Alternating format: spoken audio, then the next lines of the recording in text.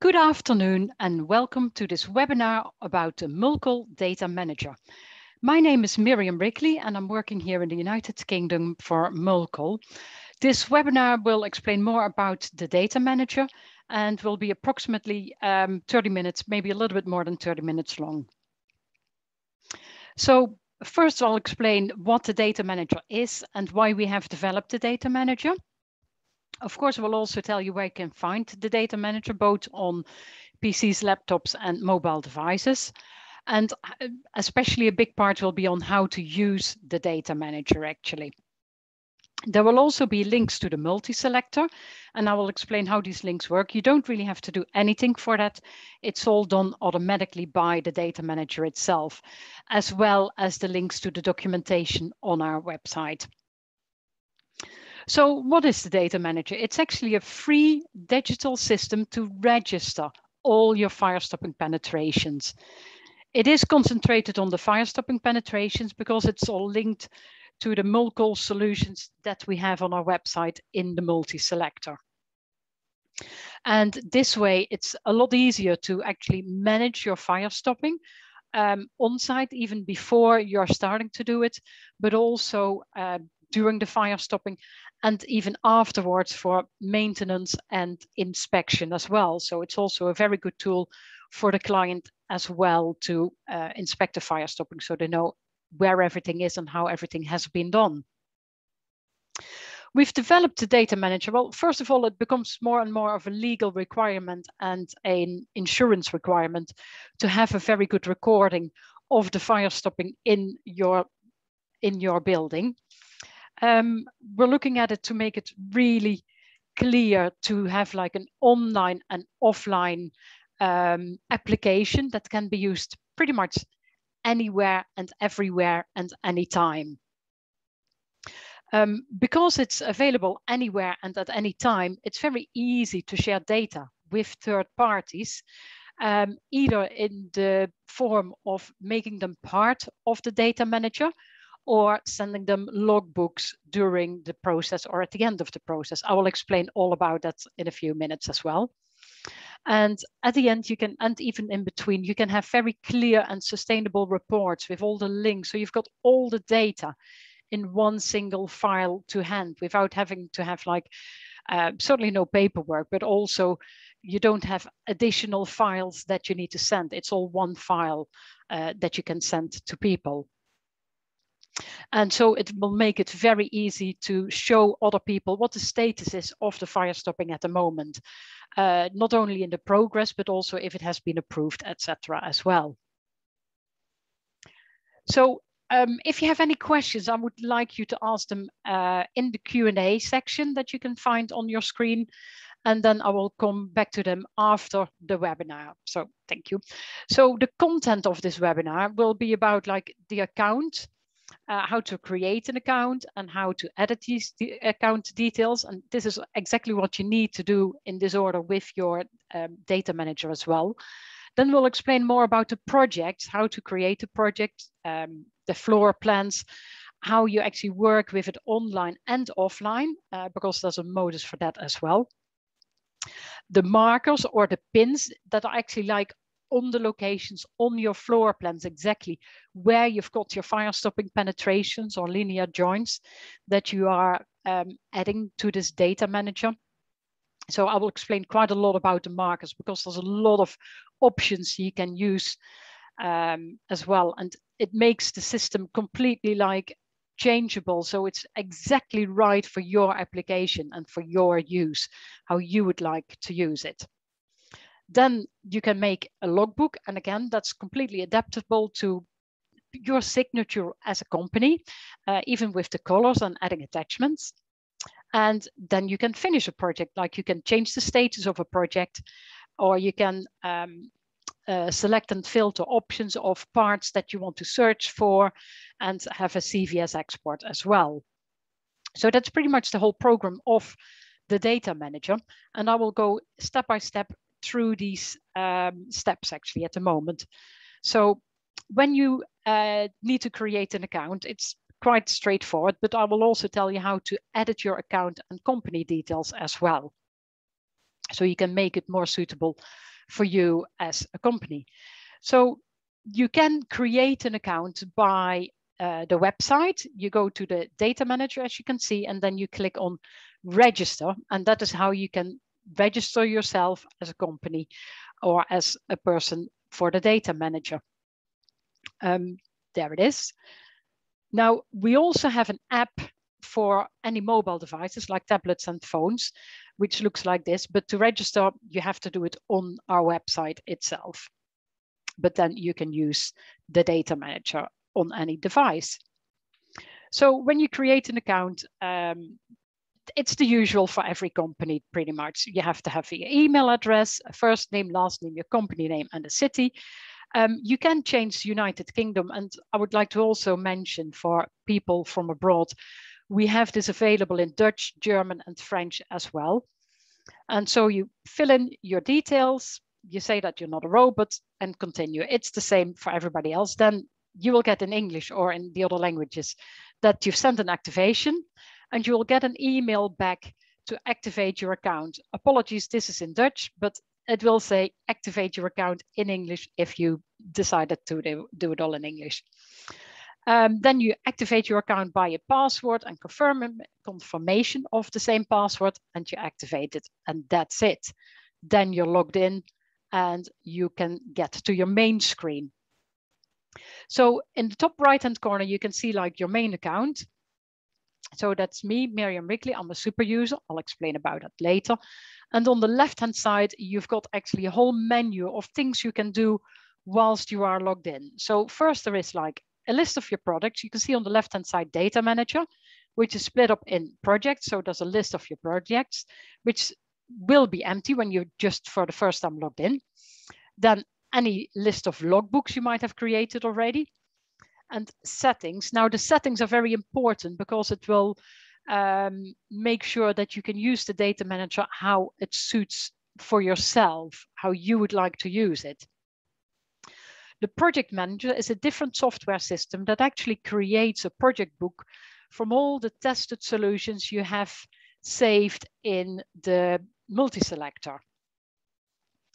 So the multi-selector is, uh, I think most of them, most of you know already what the multi-selector is, but it's like a digital tool uh, that you don't have to register for, but you can use it on the internet where you say what your applications are, what services are coming through, what's the fire rating, and it will come up with like tested solutions, including details and links to these test reports or ETAs. The next button is the account where you can um, change your account settings, but also you can add users to the account as well. Then we've got a messaging center, um, support, going back to the products on the website, the products, going back to the website itself and logging out. It's all pretty self-explanatory. So as I mentioned, settings is very important because this is where you um, adapt the data manager to your needs as a company what you actually want to put behind all the firestop penetrations. What information do you need? And as you can see, like all these boxes have got like, um, you can either switch them on or switch them off. And so if you've got them switched on, that means you want all that information attached to your pins or markers to your firestop penetrations on your floor plans. So I will highlight a few of these. And where you can see modify means that you can actually change a few bits and pieces within this as well. So first I chose the um, chosen solutions, um, which is linked directly linked to the multi-selector. So if you have that switched on, you can have a direct link to the multi-selector with the details that you will uh, need for the fire stopping of the penetrations. Um, construction type, for example, this is one of these things that has a thing with modify on. So we've got already like a few default options, such as floor, wall, and shaft wall, but you can add any type of construction type as well to this. For example, metal deck or something completely different, or a timber framed uh, wall or floor, etc., etc. That's up to you to make it more user-friendly how you would like to use the system. Uh, the next one, the penetration type, um, status of the project. And again, that's also modifiable. We've got again default options. so that's the whole project. So it can be open because you're working on it and in progress as well or it can be finished when you completed a, a, project. But we've got also a few colors left for yourself to change it to the status. So you could, you could, for example, have archive a project as well. When it's completely finished and you don't need it for a long time, you can, for example, archive it. So that will make searching for a project a lot easier as well in the future. Now the status of the marker, that's actually the status of the penetration of the fire stopping itself. So that can start at open and when you've added some information to it to in progress or finished. Um, we also have an approved and follow-up status, but again, you can have some colors left for you to change uh, any of the statuses to something that you might want, um, like additional work or it's a remedial etc., etc. Or it's part of a survey, so you have it like before you're actually starting to install it. Um, these things can be completely changed. Um, now there is one field that uh, gives you like the option to make sure that the installer puts the required information that you want in before they can uh, change it to finished. So in my example, for example, um, I'm requiring an image, the name of the installer and the application date. I don't need the fire resistance, but I do want the aperture size. So you can just choose which of these you want um, to switch on and switch off for your marker. And that will then apply to all the markers in that project and that um, will give you like, okay, we don't need that information or we do need that information. So that information has to be fi filled in and only then you can change it to finished of the states of the marker itself. If something isn't filled in, you will get like a little red line that that information hasn't been filled in yet. So that was the settings. Now back to the account. So we've created an account, we've chosen the password, etc. And um, in the account itself, you can have users as well. So when you look at the back of it, it says like edit company details, which is very important. So you can add a company logo, which will also be coming back into your uh, logbook at the end. So you can add your company logo, your company details as well. And you can also edit account details. That's just of the users actually um, working for um, working within this project in this program. And you can change the password. Now, you probably won't be working on your own, so you can add a new user to the system as well, to the account. So as always, the little red, mark, red marks means like you have to fill these in, like the first name, last name, and a unique email address. But then also you have to give this new user a role. So it could be a super user which, in which you can do everything, but it also could be the client, for example, when you just want to inform them of the progress uh, of a project. So it's important to give this role to the new user. Once you've done that, the user will come into the account as well, and you can keep on working. Now with a project, because okay, we've got now our account and we've got the settings and we're all happy with it, but now you want to start a project. So you need to add floor plans um, and I will explain to you about the markers, what you can do, what's being asked and how to work offline as well. So when you create a new project, um, in my case, I've got already some projects on here, but I want to create a new project and you click on the blue button at the top this is only possible on a desktop on the internet. This is not possible on uh, the app that we've got, uh, but all the parts afterwards will be then um, available on the app as well. So you create a new project on your desktop. And when you click on that, um, it literally comes up with like this page of um, what's the project called? What is the, uh, do you want, why is this there we go. What's the project called? Uh, where is it? You can, if you want to add an image of or a picture of the project itself, and the contact name uh, and details as well.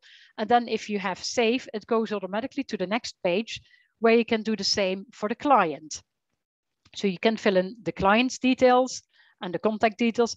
Then you can save it in an address book if you, for example, do a lot of work for the same client all the time. So you don't have to rewrite it all the time. Save again, and then you go to the maintenance um, uh, company. And again, you fill in the details. You can also copy the company data from a file that you might have already in the data manager. Contact details and save. And then you actually have created your project. And it I just highlighted here in blue. Um, Tower 1, it hasn't got any floor plans or sections or users to it, but you can all do that now. But we've created at least a project. So here underneath the actions, the three dot means the actions, what you can do with this. So you can add a user to the project. So if you've got already some users in your account, you can just um, tick them and then they are dedicated, then they are assigned to that specific project. Of course, you can change or edit the project data, data. You might have got the wrong address or something like that, or some things have changed. So you can always change that. You can copy a complete project as well, and you can also do that afterwards. Um, or you can move it to a category.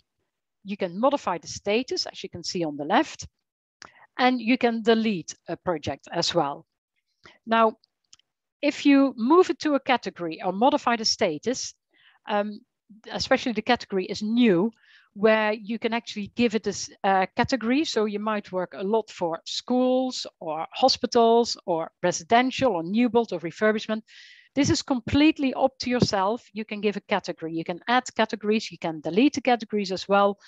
And we haven't got any default options for it. So it's completely up to you what you want to do and how you want to create it. And that will make searching a lot easier in the future as well. So there we've got our project still. And now when you click on it, it goes to the floor plans. So we want to create a floor plan or a section um, to add to the project. So new section or a new floor plan. I'm going to choose for a new floor plan. And then you give it a name, um, for example, ground floor. And also you can give the marker a name. Otherwise it will just get marker and then one, two, three, four, five, etc. But I, you can say, for example, I want GF for ground floor, marker one, and then it continues counting one, two, three, four, five. So you can change that if you want to. And then you save again. So now I've got a ground floor plan, but I haven't got actually the plan attached to it. So you upload the image or a picture, a PDF file or a picture. And then when you click on that, it will ask you to drag them there or look in your browser on your PC itself. And then you just click on it and you add it to your floor plan. So there you go. So it gives you a little preview of the floor plan you've chosen. And then you can just select this or you cancel it if it's the wrong one. And then it comes up with the next page and you can crop it and change the size of it and either cancel it or confirm it. So we're going to confirm it. So now we've nearly uploaded the image. And explaining it takes actually a lot longer than actually doing it yourself.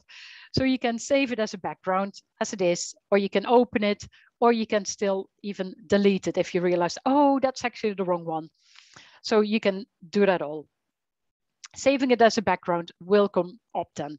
Again, so now we've got like a background, you can edit the floor plan, you can uh, copy the floor plan, you can export uh, the markers uh, in a CV, CSV export to Excel, um, download the pictures that you've got per floor plan, or you can also, that's new now, you can download the whole floor plan, including all the markers. And so you will get a PDF of the floor plan with the markers that are on that floor plan at the moment. And this is also new. You can block a floor plan for unauthorized users. So uh, they won't be able, not everybody will be able to look at it or um, amend anything in that specific floor plan. And of course, you can delete it as well. Um, so now we've got a floor plan onto the system. We want to add markers or the pins where the locations are of your fire stopping details. And of course, add all the details to all the data to this as well. So when you look at the floor plan, I've already added a few uh, pins or markers to this.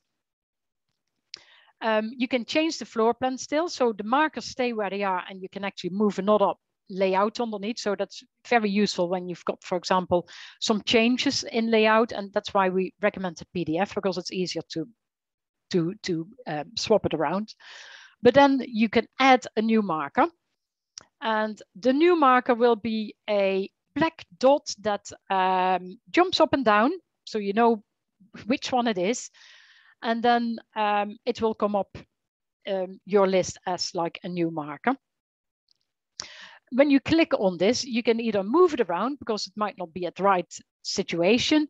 You can edit it, you can duplicate it, or you can give a line to it. And if you have a line, for example, when you've got like a few penetrations in exactly the same place, if you have all these markers at the same place, it becomes very invisible. And so you can have just a line to the location where it is. It just makes it clearer. Now the status of the marker, as we explained in the beginning, you can change it in the settings on the left-hand side, settings. So you've got these default options. And here also I have chosen for a remedial or damaged work as well. So that can be changed as well.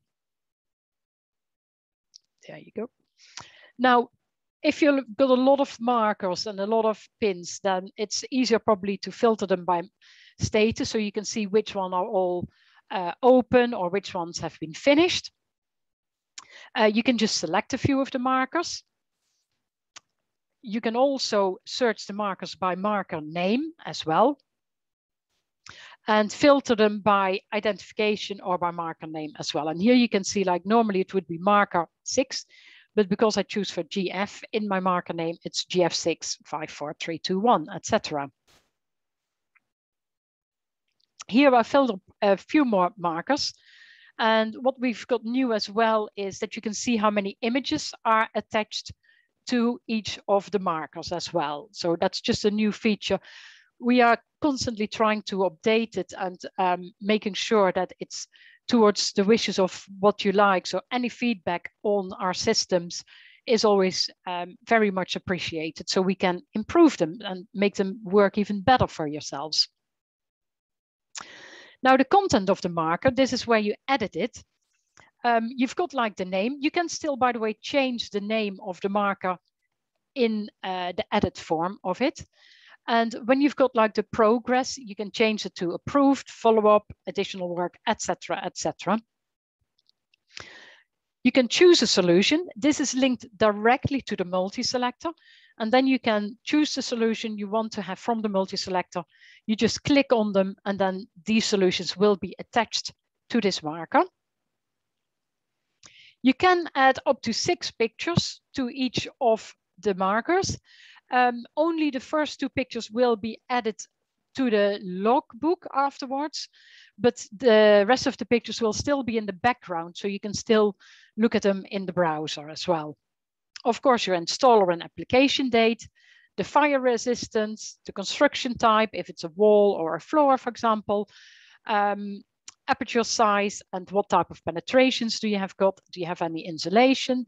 What is the Mulcol product you're going to use? And this is very useful as well to add this um, to the system, because that way in the logbook, you will have all the links to the right products that you have used any additional remarks you might have, and then you just save it. And again, in the settings, you can actually choose to say like, I only want, uh, let's say the installer, the pictures, and the chosen solution. I don't want any of the others. And so then it won't ask for that. Now, I spoke very briefly about the user's right at the start um, of the webinar. And um, if you are a super user, you're actually the main user of the data manager and you've got rights to do pretty much anything. You can create projects, you can delete projects, you can create and delete markers. You can finish up, uh, finish a project, etc. All the rights are yours.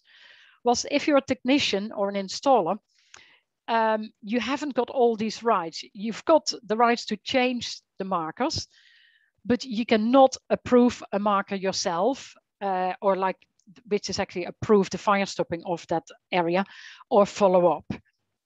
That is for super users. Now you can add and move markers around. And of course you can also add pictures. So just so to make sure that they are finished. So these user rights, um, we've got them on the website in the guide for the data manager. And at the top, you can see the different types of users. And at the bottom, you see the ticks, what people can do. So the main account can do everything. But for example, somebody who's informed can only view allocated projects.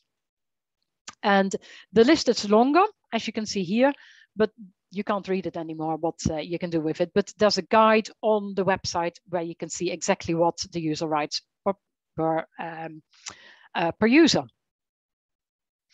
So now we are going to um, the tablet form and the um, mobile phone uh, form because we've got an app as well and it works really easy to work on the data manager from the app. So either on projects or data manager, you get to both of them at the same time. Uh, there's no difference in between. So we've got also a message center, which can be that we send from local you a messenger like enjoy your holidays, um, Christmas holidays or other holidays, and we can send messages between each other from the penetration uh, as well. So when you go onto the projects, you can see the projects that are coming up and um, you can either just click on the project if you see it coming up straight away, or if you've got a lot of projects, you can filter them and you can uh, filter them or you can show just the projects as in the categories that we've created earlier. So for example, I just want a schools project, I just want refurbishment or new build, whatever category you want to work with. So it just makes easier a lot, uh, searching a lot easier. And you can also have just a search option as well.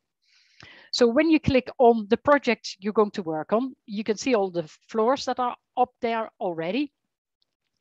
And um, again, like with the three dots, you can do some actions. So you can view uh, this ground floor straight away. You can also filter and search. If you have, let's say, 50 floors, it might be quite difficult to uh, troll through them all or scroll through them all, but you might want to search for, oh, I want to just go to floor 53. But you can also work in an offline mode, which is especially useful if you haven't got internet connection, but you still want to do your fire stopping and you still want to record it as well. So if you're starting to work in an offline mode, everybody else that wants to access that specific floor plan will get this message. Time for a nice cup of coffee because somebody else is working on that floor plan and um, offline because everything will be automatically updated. But if you're offline, we can't do that. And then you might have a conflict. Somebody might have either deleted something whilst you're working on it, and then it's not going to work anymore.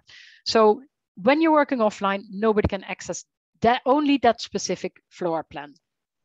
So this allows people to keep on working even without internet connection. And only one user can work on one floor plan offline at the same time. And the other one will not have access to this specific floor plan. But when you've got the internet connection again, all users will have access again to the floor plan. Of course, if you're just keeping on working uh, connected to the internet, everything is updated straight away. And so you can you can see actually literally like in a second maybe difference uh, that everything is updated. So that's a very useful feature for people that are working offline in, for example, basements where you just don't have any internet access. So when you look at um, any of the floor plans, you can see like any of the markers or pins for the penetrations already on, on the floor plan itself. And you've got a marker list at the bottom. And when you click on the plus, yes, you guessed it already, you can add another marker to it. You can see here the markers at the bottom in the marker list. And you can click on the marker itself yourself, or you can click on the markers in the marker list.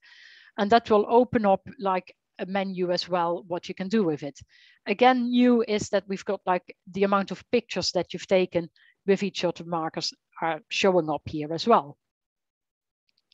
So you can view it or you can do some actions with it again. And when you click on the three dots, you can either edit it or duplicate it. For example, if you have like 10, um, 110 millimeter PVC pipes going through the wall, they're all the same. You might want to just duplicate all the information from one penetration to the next and just move them around to where they are at the right place, just to make your life easier.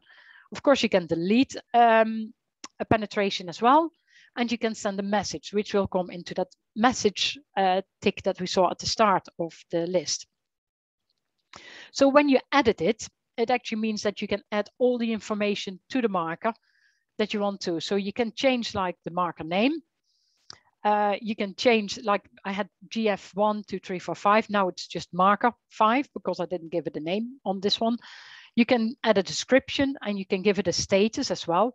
Now, installers cannot approve or follow up, as we mentioned earlier with the user rights, but they can change it from status uh, open that it is at the moment to any of the other stages.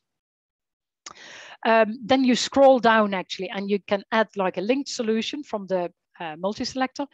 You can add the images to it again. Uh, an installer, that's mainly you because you're already attached to it and what time you have uh, installed it. So it will go through the same things that we went on the desktop as well. So the fire resistance, you can change these all. And where it says shows all options, show all options, you can change it from, let's say 60 minute to 120 minute. And you can add the aperture sizes to it as well. This is only if like in the settings, this is all required. Otherwise you, you've got a lot less to scroll down as well. Um, penetration type, and again, like um, you can add options to this in the settings on the desktop as well. Um, penetration size, um, type, insulation, the product again, you've got here as well, and any additional remarks. Now, when you're very happy with it all, you can just click on the tick at the top, and that means it's saved, and you will get a little confirmation. But yeah, there it is. Sorry, a little confirmation successfully saved to the marker.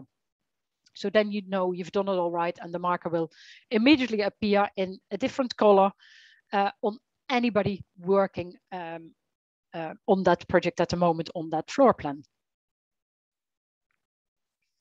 So then we've added all these markers with all the data and information and pictures. And you might want to create a logbook either halfway through a project or at the end of a project. So I'll explain how you can create that and how you can um, create a library to add attachments to these logbooks as well. So back to the main menu, you've got like a list of logbooks already and that's there. And then you can see here the little blue button with new logbook. So once you click on that, it goes automatically in the steps that you need to do. So this will be like the name of the project that you want to have for your logbook.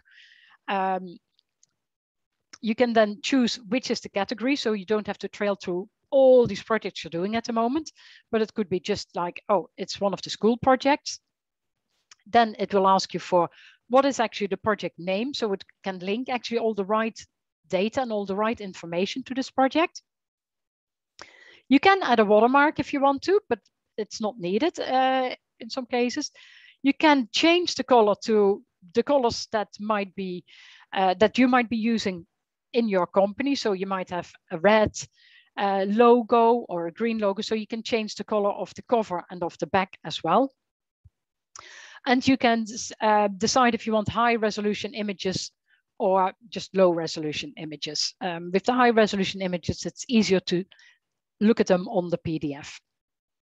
Then you click on continue and you automatically go to step two, where you can choose the floor plan. So you don't have to have all the floor plans. You can just choose one floor plan or two floor plans. Um, that's up to you. And the same with the markers. You can choose like all the markers, but you can also say like, no, I just want any additional work that we've done on this project. New as well is these filters where you can actually like choose, okay, I'm just going to have any walls that we've done with a 60 minute fire resistance or 120 minute fire resistance. And so you can choose what you want to include in this um, logbook. So once we've done step two, we've got step three, and this is where you can add any attachments. So you can create a title page and then choose an attachment. As soon as you choose an attachment, you can go into your library where you can upload documents and um, create folders to create your library. And um, for example, you might want to, to, put a few pages from a fire strategy report in this logbook as well. So you've got really all the information to hand and it's all uh, in one PDF file in the end in a logbook. So, so you don't you don't have to have multiple files. It's all there combined in one folder. So when you go to the attachment, it uh, you've got already the title page. You can see then an attachment that you might have clicked on to add to the logbook and click on continue. And that's actually pretty much it for the logbook. So you don't need to do anything else. Then you will get into a queue and the logbook will, the digital logbook will be ready. So as I mentioned, you can change the color of the front page. This is the picture that you've chosen at the start of the project as an image. Uh, the name, this can be your logo. If you um, register and change your company details, you can add your own company logo, so that will come here. The index, you don't need to do anything about. And this is a very, very tiny little logbook. So the index is there. You don't need to do anything about it. Um, the contact information of the project, the client, the application, and the maintenance companies if you want to. And then you can see like the ground floor plan. So I choose a watermark as concept over it all. And you can see here actually in the legend of the floor plan um, what the markers mean in uh, on the floor plan itself. And then the next page is like the markers and they will have like um, where they are on the plan. And then there's two pictures here um, in the logbook itself, but it's probably very difficult to see. You can see here, it says view images in browser. So they popping up in a bigger format. And also this will have all the rest of the pictures attached to it as well. So it's not in this PDF, but if you click on that view in browser, you can see the rest of the pictures. Like uh, if you have six pictures, you can see them then as well. Also, um, again, I know it will be difficult to read, but anything underlined is a link. And so these are the links of the chosen solutions. And when you click on them, you go actually straight into the multi-selector with the, with the tested solution and that has then also links to the test report. So you've got everything to hand. Now I mentioned earlier, if you put like which products you have used, then you will get like the links to the specific products. For example, Multimastic C, if you click on that, it will go to all the product data we have on Multimastic C. So it could be an ETA, uh, it will be the TDSs, PDSs, etc., etc. So you've got it all to hand and you don't need to search for any of the relevant information you might have, you might need afterwards. And that is the back cover of the digital logbook. And that brings me to the end of this webinar. I would like to thank you very much for your attention and for your time to be here at this webinar. Um, I hope it has been of use to you. I know it's a lot of information to take in. We do have a really good guide on the website as well that will explain the steps um, a, little bit more easily maybe, but also please feel free to contact me with any questions you might have uh, by email or by phone. Um, no problem at all. I'll be very happy to help. Again, thank you very much for your time today.